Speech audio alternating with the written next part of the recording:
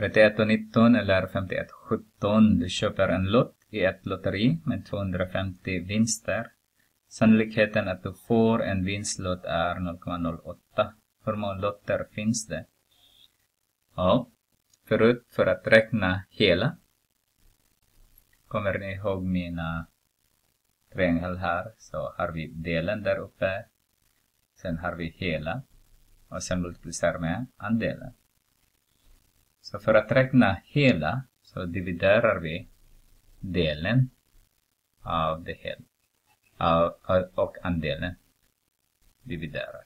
Så det är exakt samma här. Så hur många lotter finns? Så lotter skriver vi där är lika med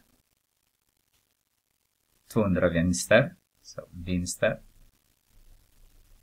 dividerat med sannolikheten att det är vinstlott. Så, med 2 till vinstlott. Så vinster är 250 stycken dividerat med 0,08. Så 250 dividerat med 0,08 så fick vi 3125 stycken lotter.